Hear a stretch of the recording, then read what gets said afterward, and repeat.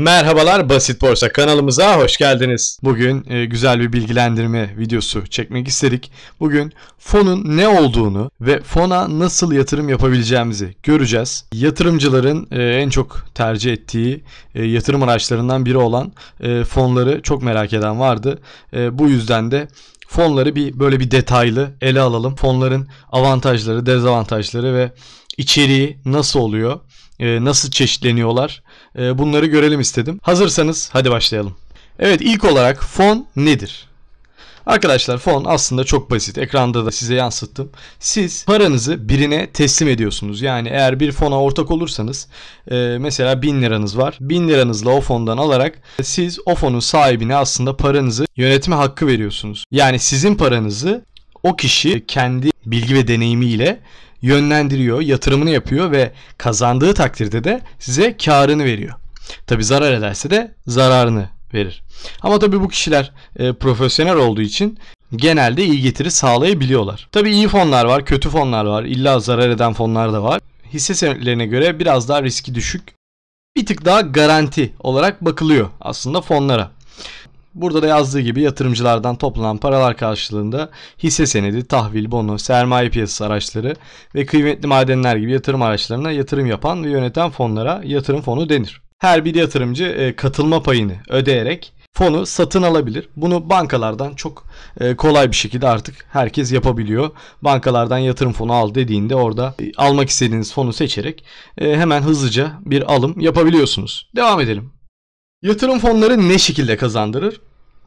Şimdi yatırım fonları 3 e, şekilde kazandırabiliyor arkadaşlar. Ekrana da yansıttım.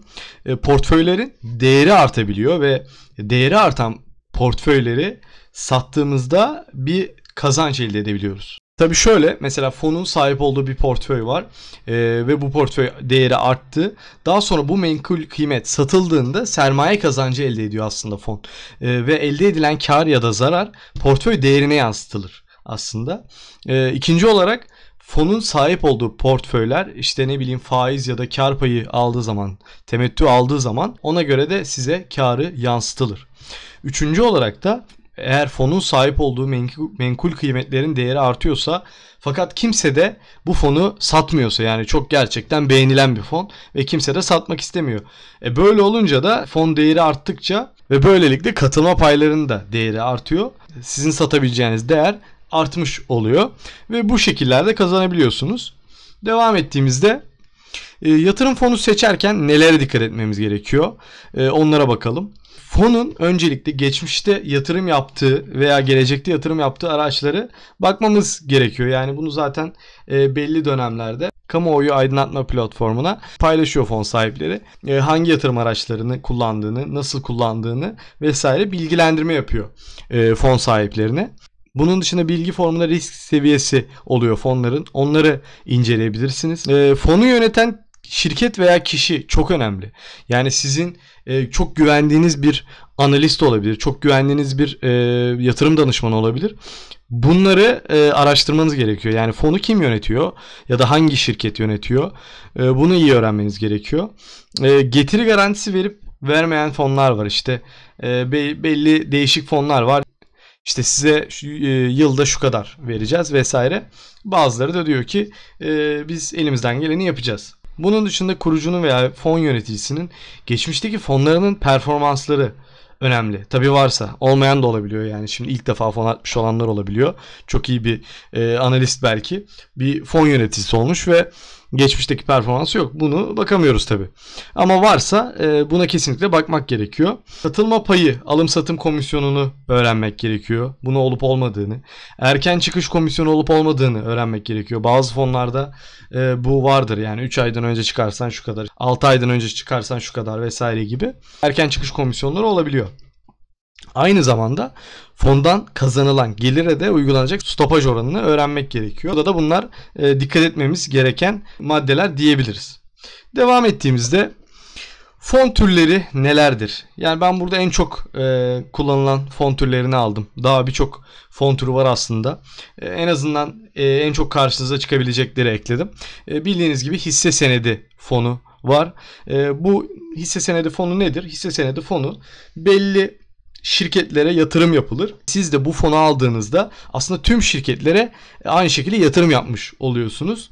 Ee, ve istediğiniz şirketlerse bu şirketler çok hızlı ve rahat bir şekilde aslında fon aracılığıyla bu yatırımı yapmış oluyorsunuz. Onun dışında Burada da e, tahvil ve bonolarla daha e, ilgileniyorsanız, bu yatırım daha çok ilginizi çekiyorsa belirli tahvillerle e, fon kuran fon türlerini tercih edebilirsiniz.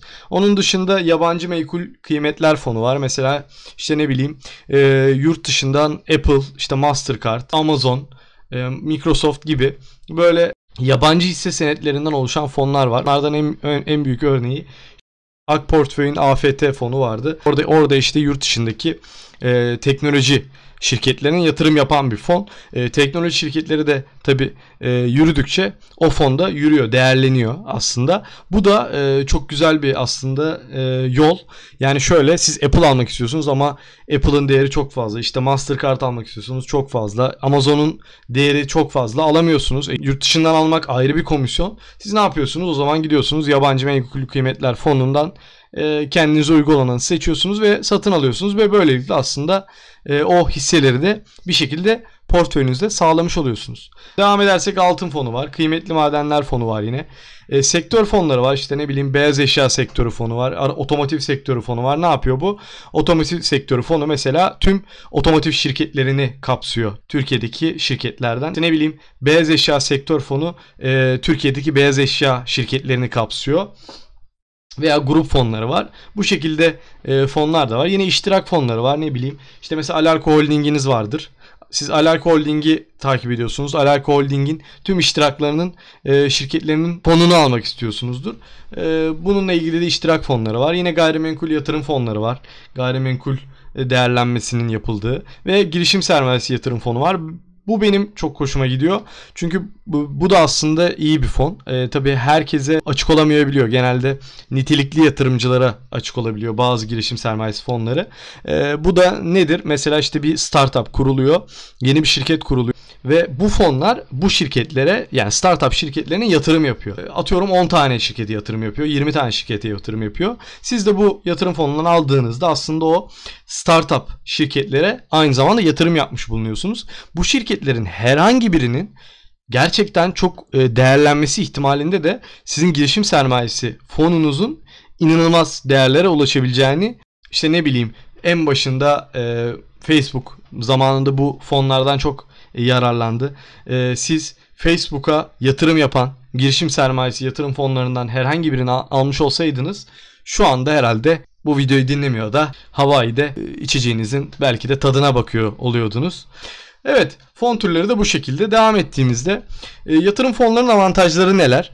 Öncelikle uzman ve profesyonele bırakıyorsunuz paranızın yönetimini yani gerçekten bilgili bu konuda eğitimli kişilere bırakıyorsunuz. Hiçbir şekilde garantisi yok ama en azından e, eğer hiçbir bilginiz yoksa piyasalar hakkında, borsa hakkında, hisse senetleri hakkında, yatırım araçları hakkında siz uzman ve profesyonel birine diyorsunuz ki benim param şu kadar. Bu parayı benim için değerlendir lütfen. Bu kadar. Ve daha sonra o kişi işini yapıyor. Kendi maaşını alıyor, kendi payını alıyor ve işine devam ediyor. Baktığınızda fonların bir diğer avantajı da çeşitlendirme yani çeşitlendirme e, fonlarda çok fazla olduğu için getirisi oldu mu yüksek olabiliyor. E, tabii düşük de olabiliyor yani hisse senetlerine göre vesaire ama düşük risk olduğunu kesinlikle söyleyebiliriz e, yatırım fonu avantajları olarak. Ve daha sonra alım satım kolaylığı basit bir şekilde bankalar aracılığıyla hemen yatırım fonu al dediğinizde hızlıca alıp satabiliyorsunuz. E, peki dezavantajlarına bakalım. E, bir de dezavantajlarına baktığımızda tabi fonlar yüksek miktarda nakit para e, tutmak durumunda genelde. Çünkü alım satım işlemlerinde o parayı size geri verme e, durumunda olduğu için e, yüksek miktarda nakit para tutarlar fonlar. O yüzden biraz para stabil kalır paranın bir kısmı. E, bunun dışında tabii fonların faaliyeti var. Yani işte bilançoların analizine kadar, fonun yönetenin maaşına kadar aslında bu fondan kesilir bu paralar. Ama iyi bir fonsa gerçekten bu maliyetleri hiç önemsemeyecek şekilde e, olabilirsiniz. Onun dışında bir tık hisse senetlerine göre veya diğer yatırım araçlarına göre yatırım fonlarını sattığınızda nakitin girişi e, sürebiliyor zaman olarak. 2-3 gün civarında bir süre oluyor. Hesabınıza geçme süresi oluyor. E, bu yüzden de biraz dezavantaj diyebiliriz. Ve fonların değerlendirilmesinin zorluğu. Yani bu e, en zoru aslında en büyük dezavantaj diyebiliriz. E, Tabi burada satış ümemesi yok. FK yok e, karlılık yok. Neye bakacaksınız diyorsunuz. O yüzden e, biraz bunların değerlendirilmesi işte hangisinin iyi olup olmadığı konusunda karar kılmak gerçekten zor, kolay değil. E, o yüzden gerçekten bir fona yatırım yapmak istiyorsanız mutlaka fonu yöneten kişinin e, bilgisini, e, daha önceki geçmişini iyi araştırmak lazım ve fonun bir önceki zamanlardaki performansına da kesinlikle dikkat etmemiz gerekiyor. Devam ettiğimizde e, yatırım fonları hakkında yanlış bilinen şeyleri şöyle bir göz atmak istedim. E, yatırım için fon seçerken son dönemde iyi performans sağlamış fonlar tercih edilmeli diye bir söylenti var. Bu e, yanlış. Yani fonunuz son dönemde iyi performans göstermeyebilir. Siz bir fona yatırım yaparken mutlaka uzun vadede bu fon ne yapmış ona bakmalısınız. 1 senede, 2 senede, 3 senede 5 senede bu fon ne yapmış? 7 kat mı yapmış? 5 kat mı yapmış? Yoksa 1,5 kat yapmış mı? Yoksa paranız değersizleşmiş mi? Buna iyi bakmak lazım. E, yatırım fonlarının getirileri yetersiz deniliyor. Bu da kesinlikle yanlış. Yani e, gerçekten iyi bir yatırım fonunda yer alırsanız senede %30, e, 2 kat, 3 kat kazandıran fonlar olabiliyor. Bunları iyi araştırıp e, iyi bilmek gerekiyor. Doğru tercih yapmak gerekiyor tabi. E, yatırım fonları risklidir e, diye bir söylenti var.